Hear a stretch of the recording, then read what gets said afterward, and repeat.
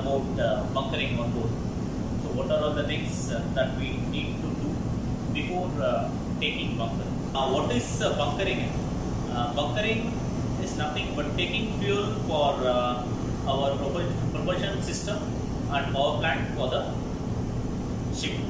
So, what are all the things that we need to do before taking bunker? So, first thing is we need to uh, know, like we need to plan how much bunker we are going to take. See, uh, suppose uh, if it is a container vessel, like if it is doing fixed import, then uh, you don't need to plan how much amount of uh, fuel you need because it is all planned earlier only. The company knows this much of fuel to be given in this particular. So for one voyage, that amount of fuel is enough with regards to backup fuel and everything. So if it's not that case, like if you need to plan for bunker, all you need to do is you have to calculate the amount of amount of days, number of days that you sail from A port to B port. Suppose uh, 10 days you are uh, sailing 10 days and uh, per day you are uh, consuming 30 tons and for 10 days you need 300 tons and apart from that you need to have a backup for 3 days. So uh, 300 plus 3 days backup will be 90 that total comes to 390 so this is how you have to plan your bunker quantity when ordering bunker to company so what are all the things? So once you concluded with the amount, quantity of fuel which you are going to take, then comes where you are going to store the bunker fuel. That means, suppose you say, uh, for me, uh, I'm going to take 3500 MT of uh, metric ton of fuel in the next port. So I have uh, total tanks. I have this much of tank. 1, 2, 3, 4, 5, 6, 7, 8, 9, 10, 11, 12. So 12 number of tanks I have. In this, 4 tanks have already fuel. So always keep it in mind. Uh, do not uh, take bunker in a tank where old fuel is already there. That means I should not take fuel oil in this 4 tank. I have to take fuel oil. I have to plan to take fuel oil only in the other tank where is there, where there is no fuel. You have to plan in such a way you should not mix the fuel oil to the tank in which already oil is there. So I am going to take uh, say 3500 metric ton of fuel oil, HFO, whatever, VLSO.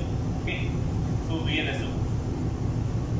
So for this, I have to uh, distribute in all the other tanks. Say I have 4, 5, 6, 7. So total uh, 14 tanks I have. So maximum you can take in each tank 85 percentage. Some companies they even allow to take 90 percentage. But for me, I always uh, prefer to take not more than 80 percentage. So this will be a safety margin when you are uh, taking bunker. So that depends on company, but mostly most of the companies tell us to take 85 percentage. Some companies tell 90, but for me, I always take a bunker in such a way it don't exceed 80 percentage in any of the tank where I am going to take bunker. So, so first thing is how much quantity you need that is already planned and you have to inform company. Company will confirm that this much of fuel is going to be supplied. Next, where you are going to take the fuel. That is what we call it as bunker loading plan, which I told now. So that will be in the paper. So this is the bunker loading plan. This is the bunker loading plan. You call it a bunker pre-loading plan. So as I said earlier, I don't prefer to take not more than 80 percentage. So you can see here 4, 5, 6, 7, total 7 tanks. I am taking 75 percentage in one tank 3 tanks I am taking 75 and 4 tanks I am taking 80 percentage. That means this will be enough to accommodate 3200 uh, metric ton of fuel oil. So this is the bunker pre-loading plan that we need to provide and we need to keep during bunker is going on so this uh, bunker preloading plan will give you an approximate idea. So when you know this much sounding will get this much percentage of fuel in the tank, then you will be confident enough to change over the fuel oil uh, supply to other tank. So next, next you need to do is, uh, yeah. So bunker plan once bunker quantity is done bunker plan is done.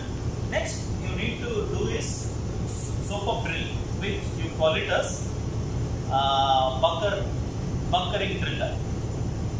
Basically, the idea of doing the SOPEP drill is, in case if you face uh, any kind of uh, pollution line, so what are all the actions that you need to do during any kind of uh, fuel related pollution at sea during bunkering, at port during bunkering. So that drill will be happening and once the drill is happened that should be recorded. So that is that will be recorded in the logbook also and then we have to keep a bunker pre-meeting.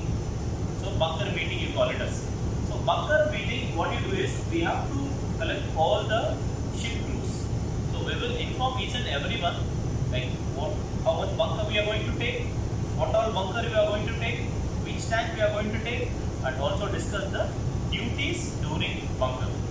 Like most of the engine room people will be involved in the bunker operation and tech people will be involved in assisting bunker. Like uh, when barge, bunker barge comes, they will be helping to get the bunker barge alongside and they will be helping the rowing activities when bunker is going on. So all these things will be planned, will be discussed in bunker meeting.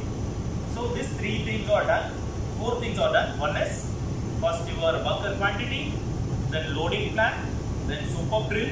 Another thing regarding up drill is you have to do the up drill before 24 hours of bunker. So and then you have to do the pre-bunker meeting. So next, so bunker meeting is done. So next what you need to do is we have to fill checklist, bunker checklist. So we have to do, um, yeah. So this is the pre-training, uh, pre-bunker training record. Eh? This is what. So this contains what are all the things discussed during the pre-bunker training. Okay, so this should be in place. And then next, uh, next we need to fill the checklist, which is very very important before taking bunker. So we have to fill two kind of checklist. One is MARPOL checklist, another is ISGOTT checklist. So MARPOL checklist is nothing.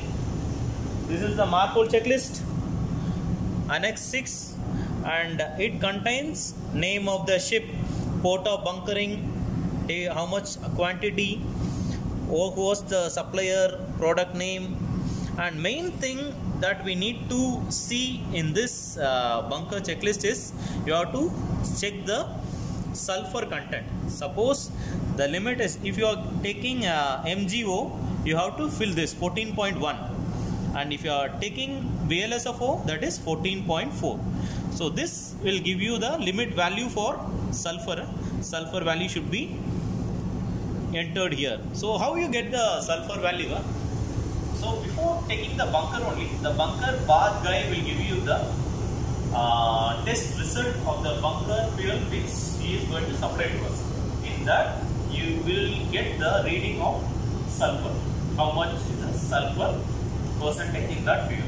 So that you have to fill it up and then what all things are uh, you can see here uh, sampling point sampling point and thing all those what is the pre-sample seal everything as seal so seal I will tell you later and uh, some regarding the secure uh, commands of delivery, name of the bunker tank, and everything. So you have to fill this checklist before taking bunker. And then the second checklist is ISGOTT. to International uh, Safety Guide for Oil Tanker and Terminal Bunker Checklist. So this is nothing. Eh?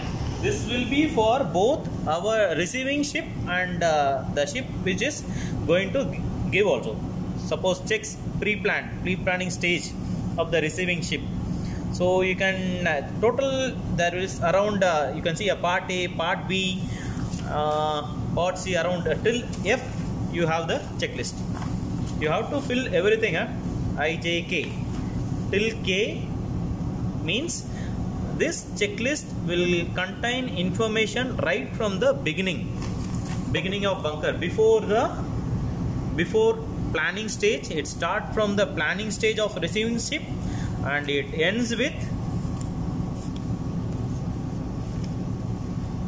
checks before disconnecting. That means this checklist contains information about the receiving ship and the ship which is going to give bunker. That means we it contains how much uh, whether the bunker plan, like how much meter cube they are going to supply, how much time they take, how much quantity they supply. Everything will be recorded, and also the how we do the communication. Suppose in case of emergency, what are all the signal that we need to give? In case of uh, normal activities, what mode you are going to use when you want to communicate something with the barge. So all this thing will be here in this bunker ISGOTT checklist. So next, next we need to prepare sampling bottles. Sampling bottles when uh, bunker is before bunker is happened. So these are all the sampling bottles. So usually we take four, one for MARPOL and one for vessel, one for bunker barge and one for lab analysis. And this one, uh, sometime the bunker surveyor who come on board, uh, he will take one sample, one sample. So total five number of sample bottle and each sample bottle will be having a seal number. So suppose uh, this seal is used for this MARPOL, you have to record it and you have to this. This is your uh, sampling, whatever uh, details, all details you have to mention. Then you have to take and stick it in the bottle, sample bottle. So this is what sample bottle should be collected and the one that we are giving for testing now testing should be again same it need a seal it need a bottle and that bottle should be kept inside the cover and then it should be kept in the box and then along with the landing report we have to send it for analysis the idea of keeping the bottle in cover is to avoid any spill. So this is the idea. So next thing is uh, always maintain a bunker file. Bunker file will be like this. So what are the bunker papers, everything you have to keep it in a file. So I believe uh, this video must have given you some information about uh, what are all the things that we need to do for uh, taking bunker on board ship. Thank you.